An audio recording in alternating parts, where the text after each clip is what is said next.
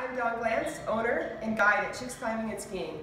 With the weather changing outside, it's time to head into the gym and start thinking about training for either ice climbing or mixed climbing.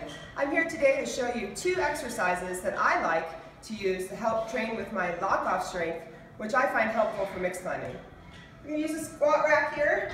You're going to find some sort of uh, bench that you can put in front of you that is stationary. You're going to lay on the floor, extend your arms up onto the bar, and then come into a perfect hanging plank position.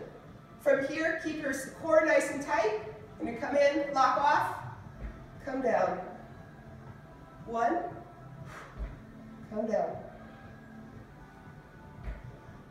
Work yourself up to 10 of those with good, perfect form, and you'll be on your way to great lock-off strength. The second exercise I'd like to show you is something I like to do to help me train with locking and reaching.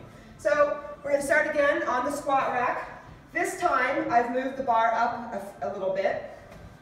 Again, I'm going to have a stationary platform in front of me.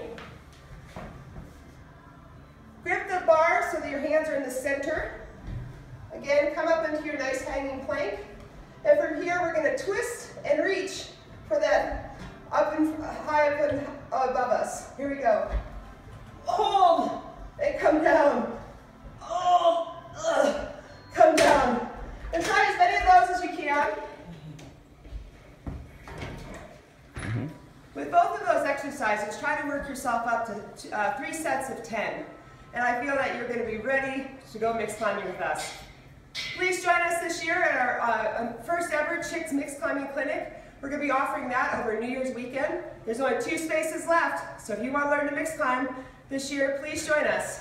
Thanks very much.